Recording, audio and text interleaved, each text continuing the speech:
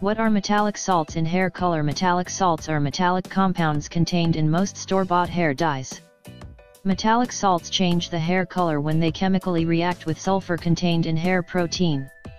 Metallic salts have been used in hair dyes since the 1800s. Hair dye containing metallic salts leaves residue on the hair that increases each time it is applied to hair. As a result, hair will become progressively darker than the desired shade with repeated applications of this type of hair dye. The hair will lighten only after metallic salts are stripped from hair.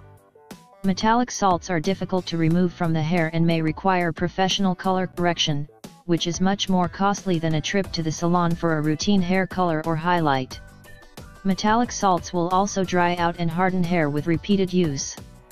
When deciding on a new hair color, it is best to take a trip to the salon.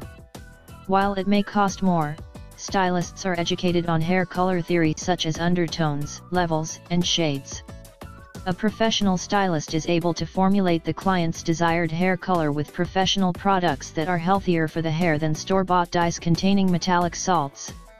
An experienced, well-trained stylist using quality hair products can often achieve better results than results achieved at home with boxed dyes.